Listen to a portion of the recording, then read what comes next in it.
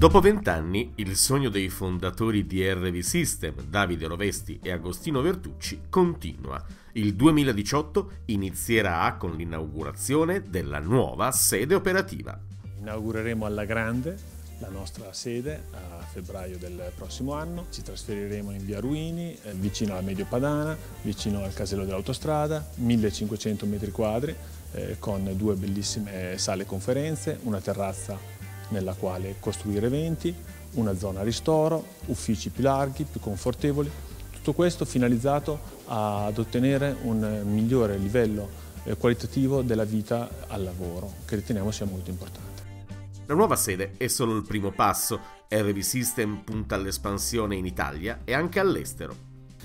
Sicuramente essere nati in questo territorio dove c'è questa grandissima densità di aziende eh, altamente competitivo ci ha permesso di crescere sia come know-how sia come livello delle soluzioni. E non più di un mese fa eravamo presenti con il nostro stand eh, ad Adipec 2017, la più importante fiera del mondo oil and gas ad Abu Dhabi, negli Emirati Arabi, e eh, abbiamo ottenuto un ottimo riscontro per quanto riguarda gli interessi sui nostri prodotti. Prodotti che tra l'altro sono frutto della vostra ricerca e sviluppo che è parte integrante del vostro lavoro quotidiano.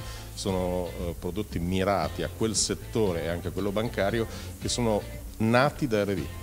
Assolutamente sì, sono prodotti che sono nati eh, principalmente dalla ricerca e sviluppo interna di RV ma eh, con un grandissimo contributo dei nostri clienti in quanto eh, il know-how, la conoscenza eh, dei, degli ambienti in cui questi prodotti e questi software devono funzionare è fondamentale alla fine eh, per ottenere una soluzione che sia realmente efficace e che abbia un importante beneficio per la clientela. L'assessore all'innovazione del comune di Reggio Emilia, Valeria Montanari, ha sottolineato il valore delle esperienze imprenditoriali come quella di RV System che si muovono nei settori più innovativi, sempre più essenziali per aumentare, ha detto, la competitività e l'attrattività di Reggio Emilia. La via Emilia è sempre più digital e in questa direzione vanno orientate le linee strategiche con l'obiettivo di diffondere cultura digitale. Il direttore di Un'Industria Reggio Emilia, Giovanni Roveda, ha consegnato ai fondatori di RV System una targa per sottolineare l'impegno di vent'anni in un settore così giovane, ha detto Roveda,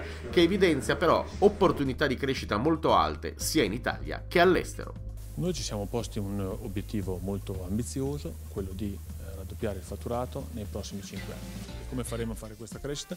Sicuramente attraverso linee interne, sicuramente creando quelle partnership internazionali che ci permetteranno di conquistare mercati esteri e anche dalla creazione di partnership o operazioni societarie sul territorio nazionale per diventare più capillari, per essere sempre più vicini ai nostri clienti in regioni come il Piemonte, il Veneto e il Lazio è la conferma, anno dopo anno, di una redditività capace di sostenere gli investimenti e lo sviluppo. L'EBITDA è pari al 17% del fatturato.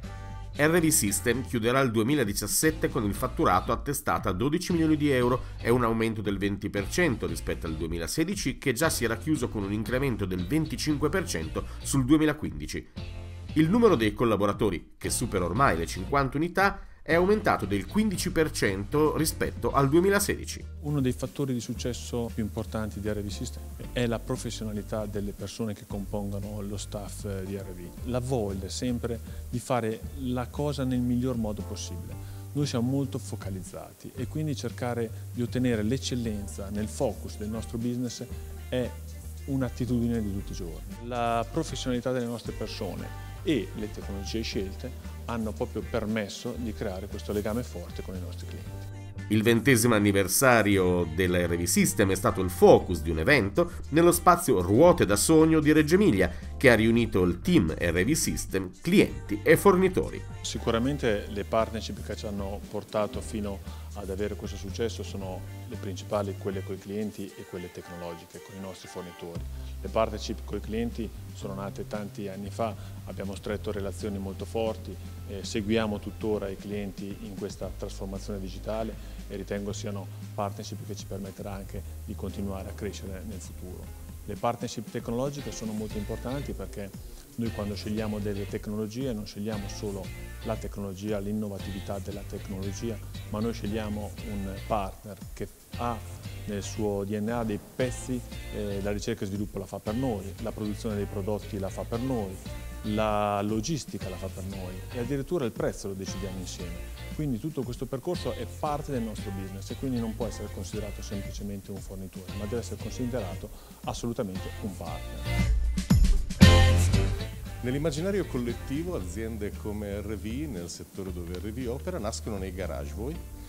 No, in realtà non siamo nati in un garage, ce l'hanno chiesto mille volte, tant'è che alla fine mi sono stancato di puntualizzare che siamo nati in un normalissimo appartamento. Quindi sostanzialmente siamo nati eh, principalmente per metterci alla prova e eh, perché capivamo che nel 97 un grande stravolgimento stava, stava prendendo corpo.